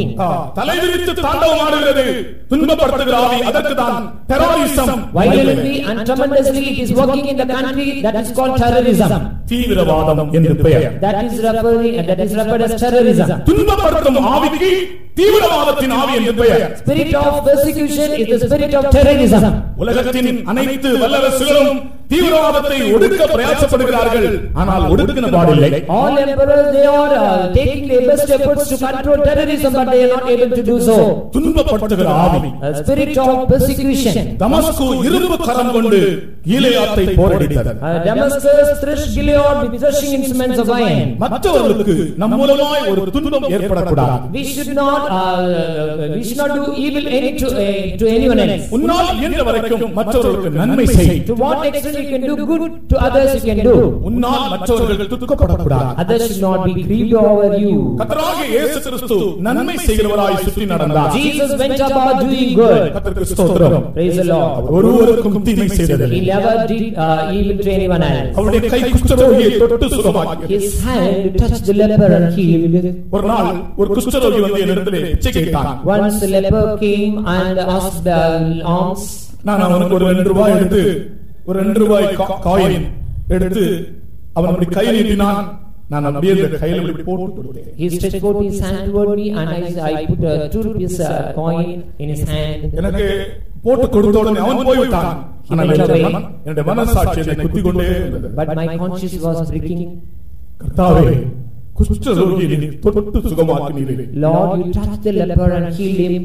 நான் அவனுக்கு ஒரு ஒரு பிச்சை கொடுக்கிறதா அந்த ஒரு ஒரு செகண்ட் அந்த சமயம் கூட என்னுடைய கை அவன் மேல படக்கூடாது என்று நினைத்தேனே நான் எவ்வளவு சுயநீதி உடையவன் Even in the one minute when I give that uh, two rupees to that uh, leper, at the time I think that my hand should not touch him. What a man am I? நான் அவனுக்கு நன்மை செய்யவில்லை ஆண்டவனே I have not done any good to him. நீதான் நன்மை செய்கிற தேவன் You are the Lord who does good. குஷ்டரோகியை தொட்டு சுகமாக்கினார் You touched leper and healed him. ஆமென் சமுத்திரத்தின் அலைகளுக்குள்ளே அமிழ்ந்து போய் கொண்டிருந்த சீசனை தூக்கி எடுத்தார் கையினால் Jesus took the disciple who was immersing in the waves of the sea, ஆனால் அந்த கைகளுக்கு தான் ஆணிகள் பாய்ச்சப்பட்டது but the very hand was nailed on the cross. இயேசு கிறிஸ்து யாருக்குமே தீமை செய்யவில்லை Jesus did never evil to anyone ஆனால் அவரை உலகம் வெறுத்தது but the world hated him. நன்மை செய்த கரங்கள் ஆணி அடிக்கப்பட்டன Hands good which did good, it was crucifying. நன்மை செய்யும்படி சுற்றித் திரிந்த பாதங்கள் ஆணி அடிக்கப்பட்டன Feet which went about doing good, it was crucifying. ஓ அதே இயேசுவை தான் நாம் பின்பற்றுகிறோம் The same Jesus we are following today. மற்றவர்களை கோபத்தோடு நாம் பேசவும் கூடாது We should not uh, speak with, uh, with anger words. அது தமஸ்குவின் ஆகும் Uh, that is the spirit of Damascus. மற்றவர்களை துக்கப்படுத்தக்கூடாது We should not grieve others. இது தமஸ்குக்கு ஒரு இரும்பு கருவி இருந்தது uh, iron instruments சில hand. சில பேப்பர்கள் எல்லாம் நாம் சில வேளை வாசிப்போம். நாங்கள் இரும்பு கரம் கொண்டு அடக்குவோம் என்று சிலர் சொல்லியிருப்பாங்க. இரும்பு உடனே எனக்கு தமஸ்கு தான் ஞாபகம் வரும். ஓ இவங்க தமஸ்குவின் ஆளுடையவங்க In paper, newspaper, you can read. Through the irons of hand of iron, we will control இந்த the சுவிசேஷத்தை கேட்கிற நீங்கள் யாராக இருந்தாலும் people who are hearing this gospel, whoever you may be. இரும்பு கரம் யாருக்கு இருக்கிறதோ அவர்கள் தமஸ்குவின் ஆவியுடையவர்கள் அவர்கள் மேல் நியாய தீர்ப்பு வரும் Those who are having the hands of iron, they have the spirit of Damascus upon them, the judgment will come. நம்முடைய கைகள் நன்மை செய்ய வேண்டிய கைகள் Our hands have to do good, உதவி செய்ய வேண்டிய it கைகள் has to help, இரக்கம் செய்ய வேண்டிய it கைகள் should show mercy to others, ஓ மற்றவர்களை தூக்கி எடுக்க வேண்டிய it கைகள் should lift up others, மற்றவர்களுக்கு மற்றவர்களை ஆட்சி அரவணைக்க வேண்டிய it கைகள் should console and it should comfort others. மற்றவர்களுக்கு உதவி செய்ய வேண்டிய கைகள் எப்படி மற்றவர்களுக்கு தீமை செய்ய முடியும் Hands which have to do good and help others, how we can do evil.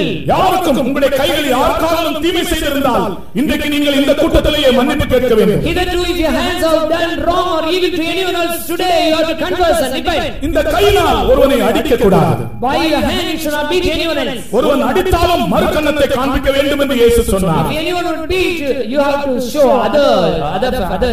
கர்த்தருக்கு ஸ்தோத்திரம் Praise the Lord. ஆகையால் தமஸ்குனுடைய ஆவி நமக்குள் So பிரவேசிக்கிறார் we should not allow the spirit of Damascus to enter in our life. இதற்கு இன்னொரு அர்த்தம் கூட சொல்கிறேன் வேதபாடம் தானே ஆனபடினால் கொஞ்சம் விளக்கமாக சொல்கிறேன் So the next explanation I want to give you because it's the Bible. கீலேயாத்தை கீலேயாத்தை போரடித்தார்களாம் They thrust Gile- Gilead.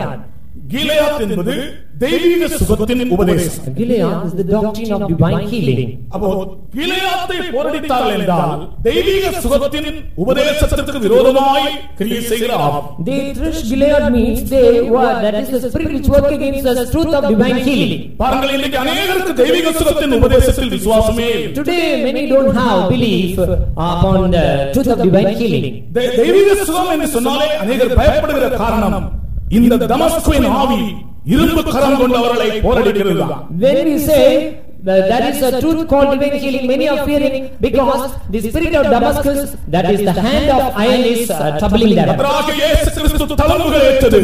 தெய்வீக உபதேசத்தை வெளிப்படுத்தும்படியா Jesus Christ accepted stripes on his body that reveals the truth of divine healing. இரண்டாவது பட்டணம் காத்சா Then second city is called Gaza. இந்த காத்சா பட்டணத்தினுடைய தீமை என்ன What is the evil of Gaza?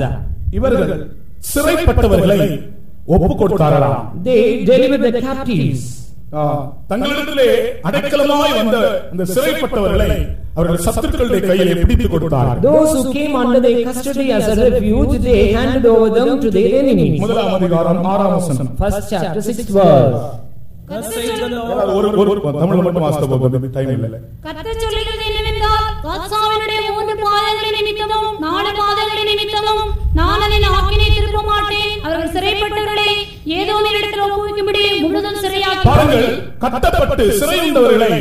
இவர்கள் சத்துருக்கள் கையில் ஒப்படைத்தார்கள் They handed to the they handed the people those who are bonded to the hands of enemies. கர்த்தருடைய ஆவி என்ன தெரியுமா What is the spirit of the Lord? கர்த்தர் கட்டுண்டவர்களுடைய கட்டுகளை அவிழ்க்கிறார் The Lord who delivers the bonds of the people. உன்னால் கூடு வரைக்கும் ஒரு ஆளுடைய கட்டை நீ அவிழ்க்க வேண்டும் To what extent you can deliver the bonds of the people, you have to deliver. நூற்றி பதினாறாம் சங்கீதம் பதினாறாம் வசனத்திலே சங்கீதக்காரன் சொல்லுகிறார் என்னுடைய கட்டுகளை அவிழ்த்தீரே என்று சொல்லுகிறார் 146 Psalm 16 verse says, David says, Lord has loosed my bonds.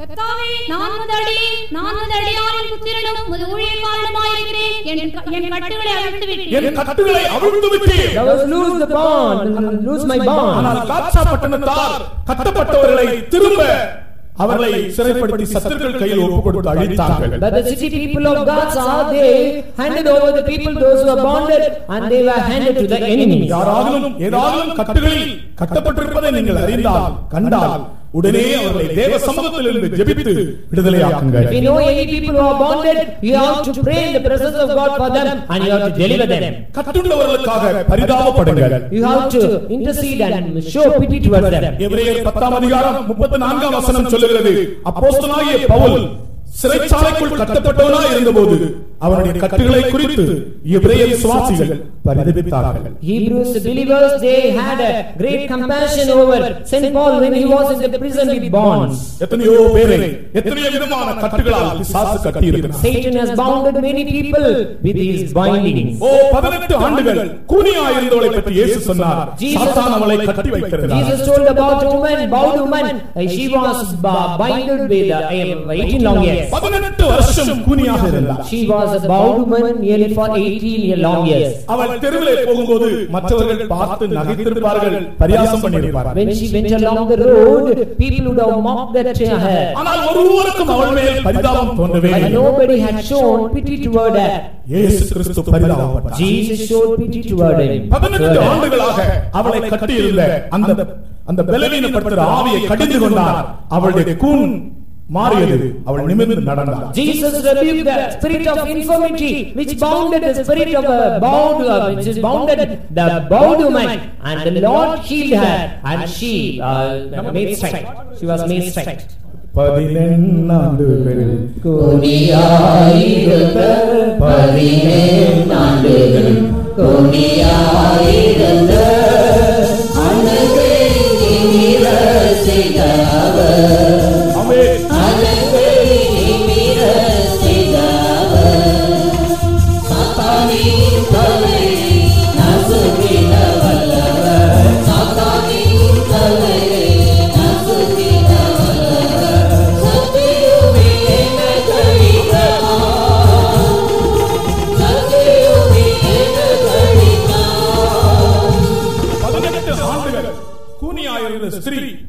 அந்த பலவீனப்படுத்துகிற ஆவி அவளை கட்டி இருந்தது அன்றவராகிய இயேசு அவளை விடுவித்தார் Nearly for 18 long years, she was a bound woman. She was bound with the spirit of infirmity. Jesus touched her and healed her. காட்சா பட்டணத்தார் கட்டுண்டவர்களை சாத்தான் கையிலே சத்துருக்கள் கையிலே ஒப்படைக்கிற ஆவி உடையவர் City people of Gaza, they handed over the bonded people into the hands of enemies. அடுத்தது மூன்றாம் பட்டணம் தீரு Uh, third city is Titus. ஒன்னாம் அதிகாரம் ஒன்பதாம் வசனம் First chapter 9 verse. இவர்களுடைய ஆவி என்ன What is இவர்களுடைய பாதகம் their, என்ன what is their transgression? இவர்கள் சகோதரரோடு சொன்ன உடன்படிக்கையை முறித்து முறிப்பவர்கள் They break the covenant that they have made with their brethren. ச- சொன்ன வார்த்தையை காத்துக் கொள்ளாதவர்கள் They those who are not keeping their promise. வார்த்தையில் உண்மை Those இல்லாதவர்கள் who are not faithful in their word. சந்தர்ப்பம் வரும்போது வார்த்தையிலே மாறுகிறவர்கள் When occasions will come, they will alter their word. சாதாரணமாக இந்த பாதகம் எத்தனையோ பேருக்குள் இந்த நாட்களில் காணப்படுகிறது Usually this transgression is found among many one, many ones. நீ சொன்ன சொல்லை தவறக்கூடாது You should not miss your word.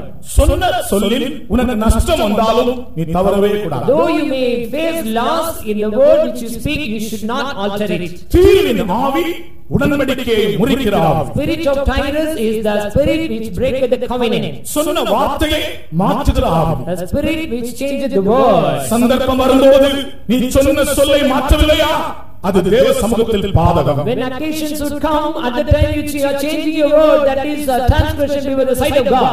உள்ளதை உள்ளதென்றும் இல்லதை இல்லதென்றும் சொல்லுங்க Say the word that is A is A and Nay is Nay.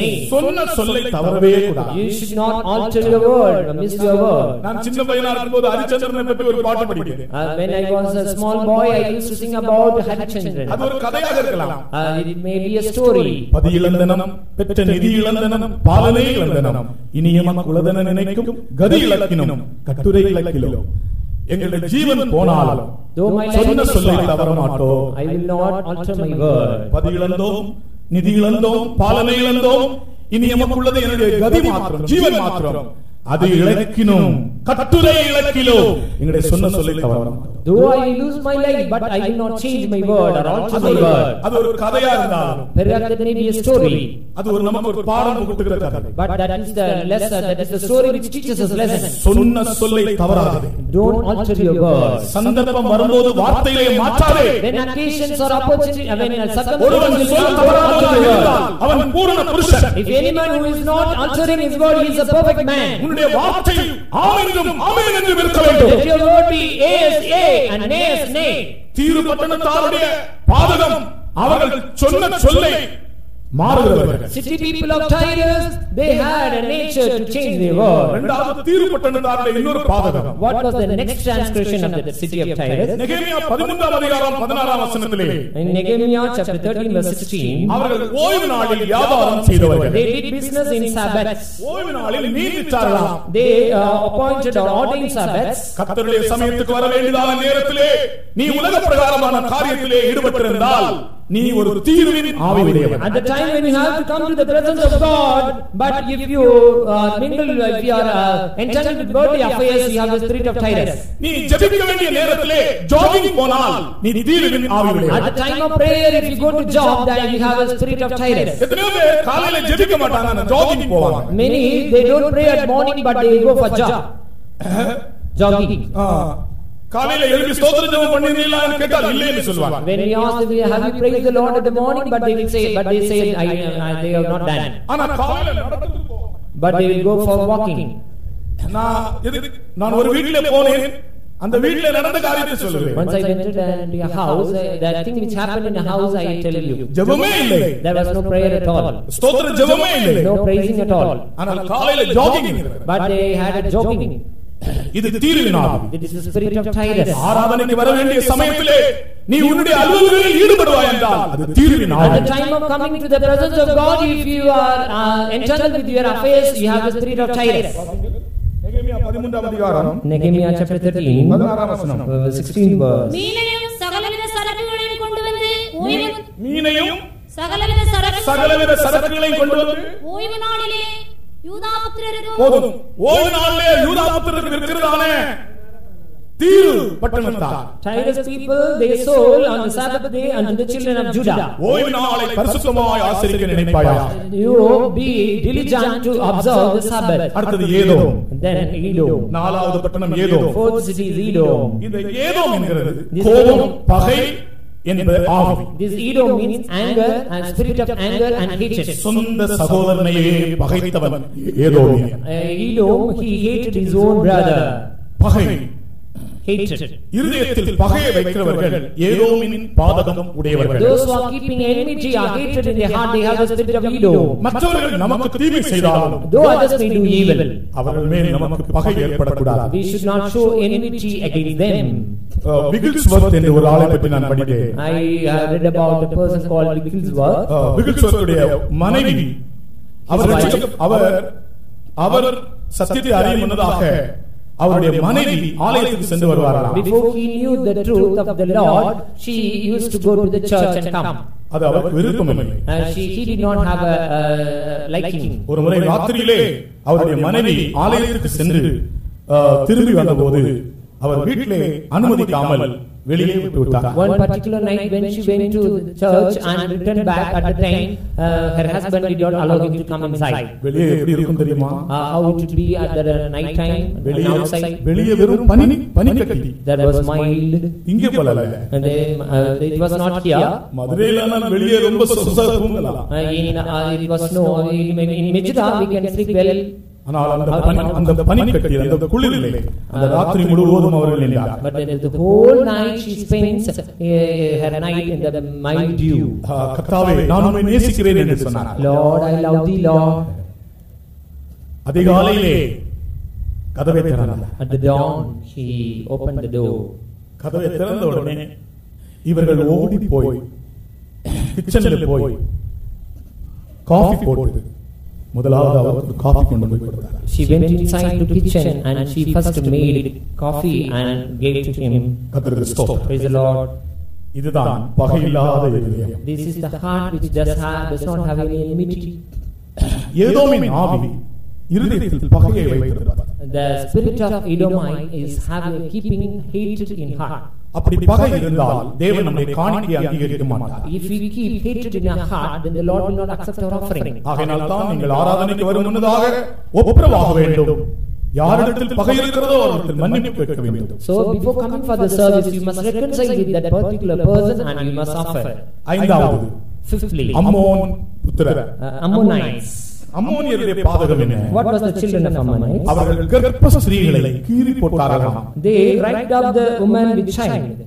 One அம்- முதலாம் அதிகாரம் பதிமூன்றாம் வசனத்திலே Uh, first chapter, 13th verse. கர்ப்ப ஸ்திரீகளை கீறி போட்டார்கள் They racked up the woman with child. இதற்கு நான் இதற்கு நான் ரெண்டு அர்த்தங்கள் சொல்லலாம் இன்னைக்கு நான் ஒரு விளக்கம் சொல்லுகிறேன் Uh, I can tell you two explanations for this, but I want to tell you one explanation. கர்ப்ப ஸ்திரீகள் என்றால் யார் Uh, who are the pregnant women?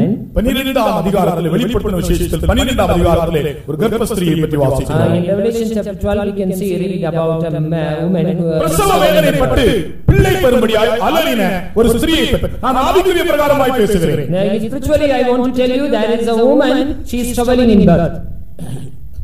ஜெய ஜீவியத்திற்காக பிரசவ வேதனைப்படுகிற தேவ ஜனங்களை The காண்பிக்கிறது pe- It refers the people, those who are paining, or those who are travailing to bring the victorious life. அப்படிப்பட்டவர்களுடைய ஜெய ஜீவியத்தை அழித்து போடுகிற ஆவி மற்றவர்களுடைய ஜெய ஜீவியத்திற்கு நீ தடையா இருக்கக்கூடாது Uh, that is the spirit which destroy their victorious life. You should not become a hindrance so that others may do a victorious life. மற்றவர்கள் ஜெய ஜீவியம் செய்வதற்கு நான் தடையா இருக்கக்கூடாது We should not be an hindrance so that others may do a victorious life. அதான் அம்மோனியனுடைய ஆவி That is the spirit of Ammonites. கர்ப்ப ஸ்திரீகளை கீறி போடுகிறார் Uh, Raping the uh, uh, women and child. அடுத்தது Moab Uh, then Moab.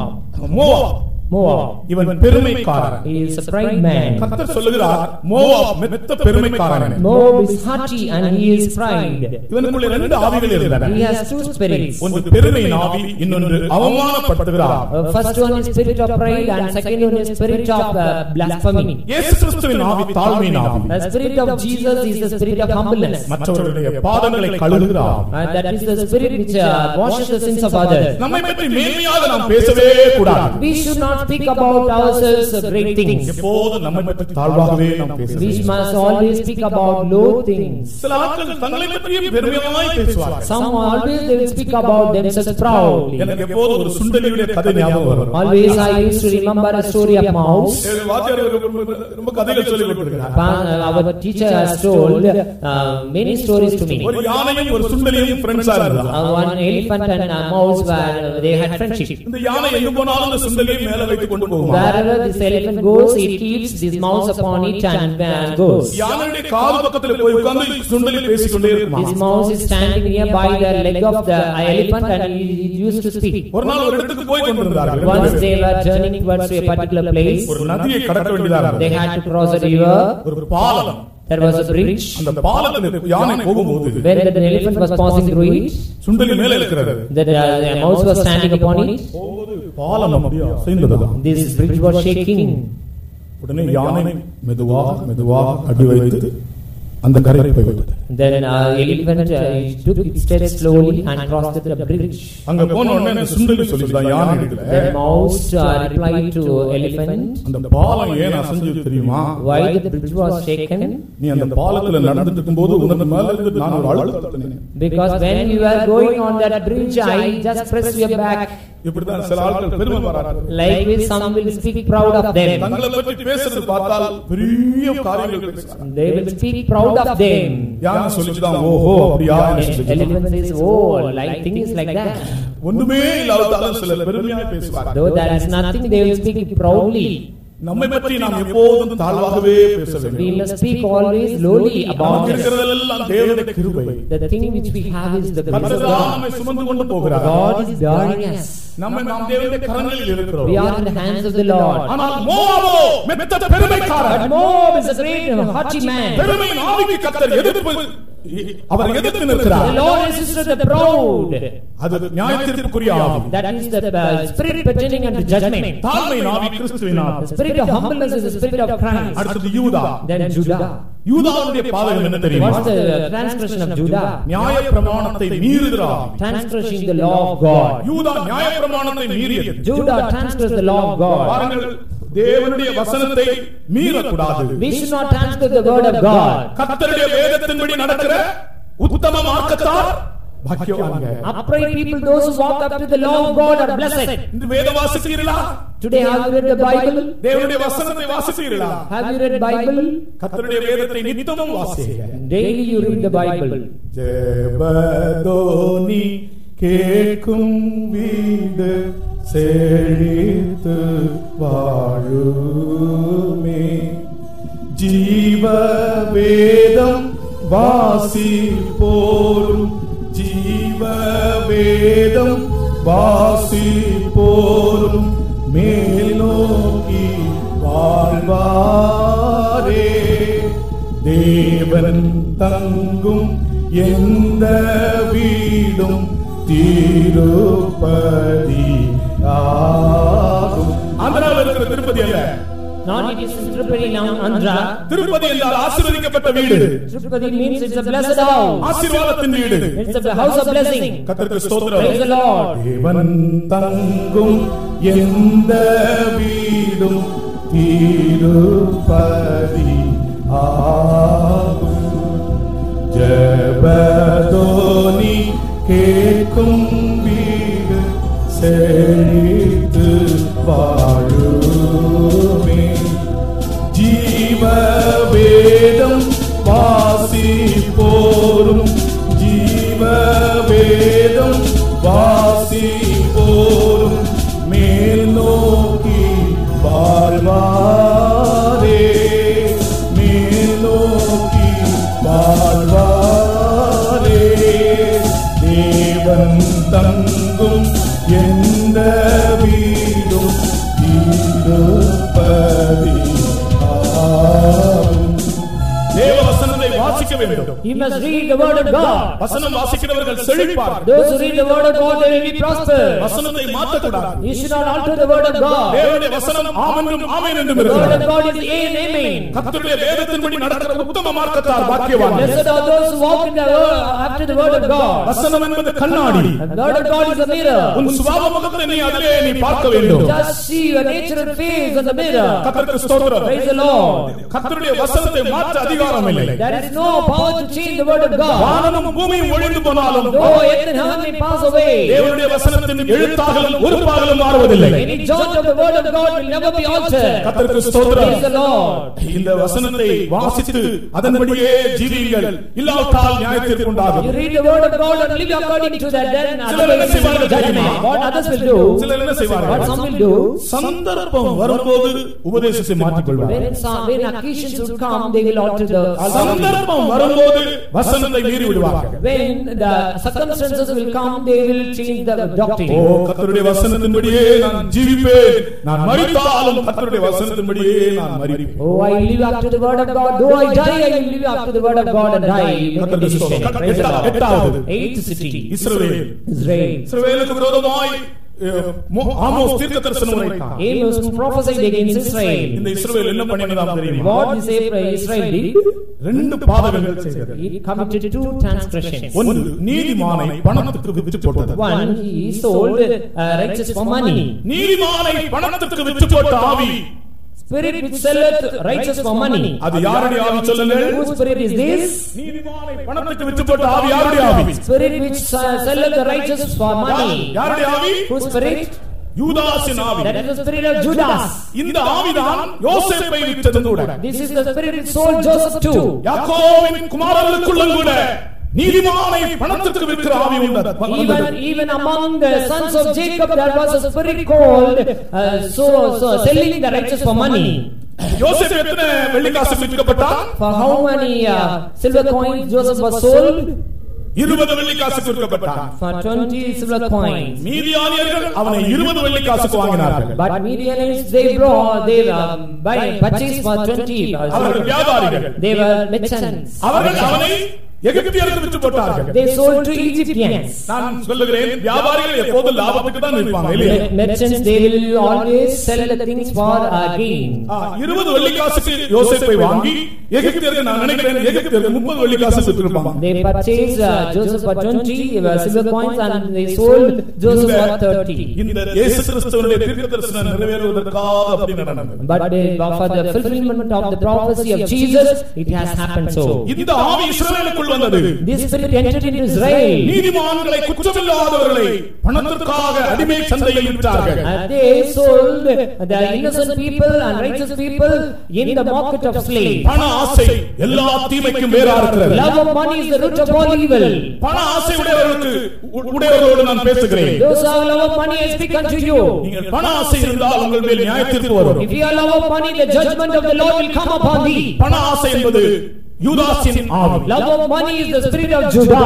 பண ஆசை என்பது இஸ்ரவேலுக்குள் புகுந்த ஆவி Love of money, the spirit which entered into Ju- Israel. பண ஆசை என்பது யாக்கோவின் குமாரருக்குள் புகுந்த ஆவி The love of money is the spirit which entered into the sons of Jacob. ஆ, விசுவாச ஜீவியம் உடையவர்கள் ஒரு காலம் பண ஆசை உடையவர்களாக இருக்க முடியும் Those who have faith like they will never have love of money in their life. அடுத்தது இந்த இஸ்ரவேல் செய்த இரண்டாம் பாதகம் The second transgression that Israel committed is நசரேயர்களுக்கு திராட்சரசம் கொடுத்தார்களா they gave wine the Nazarites to drink. இந்த காரியங்களை நீங்கள் மறக்க கூடாது விசுவாசிகள் ஊழியக்காரர்கள் கிறிஸ்தவர்கள் புதிய ஆத்மாக்கள் யாரும் இந்த காரியத்தை மறக்க கூடாது Christians, believers, workers, all are nominal Christians, unsaved people, you should not forget this truth. இரண்டாம் அதிகாரம் பன்னிரெண்டாம் வசனத்தை வாசித்தால் நசரேயர்களுக்கு அவர்கள் திராட்சரசம் கொடுத்தார்களாம் 212 we read they gave the Nazarites wine to drink.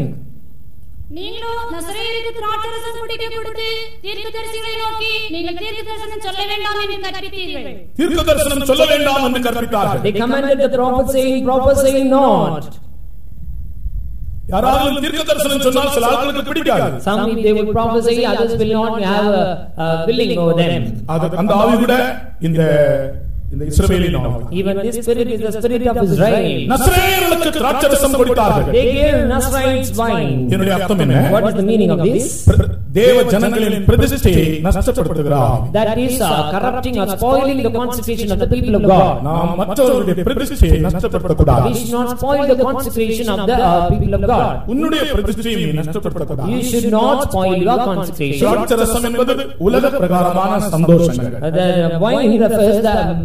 worldly pleasures. உலக சந்தோஷத்தால் உன் பிரதிஷ்டையை இழந்து விடக்கூடாது Don't lose your con- uh, consecration because of worldly pleasures. நான் சுருக்கமாக சொல்லி I முடிக்கிறேன் briefly say you. இந்த எட்டு பட்டணங்களுக்கும் விதமான பாதகங்கள் இருந்து வந்தன These eight cities had these transgressions. நான் உங்களுக்கு சொன்னது போல மூன்று நான்கு இப்படி வந்து கொண்டே இருந்தது As I have told you earlier, early, uh, they had three and four. ஒன்று ரெண்டு மூன்று நான்கு இப்படியே வந்து கொண்டிருந்தது Three, four.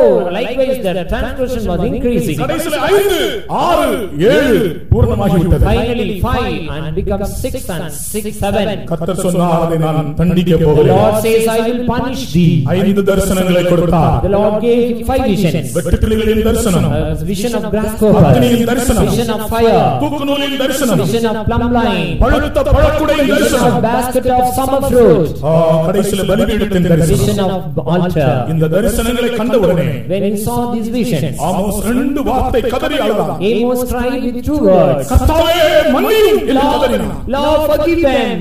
கர்த்தாவே நிறுத்தும் Lord cease. இது ஆமோஸுடைய வார்த்தை This is the words of Amos. கர்த்தாவே மன்னியும் Lord forgive. கர்த்தாவே நிறுத்தும் Lord cease. ஓ பரிந்து பேசினான் He was interceding. இந்த பாதகங்களின் நடுவில் இருந்த ஜனங்களுக்காக ஆண்டவரிடத்தில் பரிந்து பேசினான் He was interceding for the people who are in the midst of transgressions. இதை பற்றி நான் அடுத்த நாளைக்கு சொல்கிறேன் Tomorrow I want to tell you this. எல்லாரும் ஆமோஸின் புத்தகத்தை நன்றாக படித்து வாருங்கள் all clearly uh, study about this book of Amos and come tomorrow. ஒரு நிமிஷம் நம்முடைய முழங்காலில் Let's இருப்போம். all be on our knee, kneel on one minute. நம்முடைய கண்களை மூடுவோம் Let's all close our eyes. கர்த்தர் நம்மை காண்கிறார் God is watching us. கர்த்தர் நம்மை ஆசீர்வதிக்க God is விரும்புகிறார். blessing us.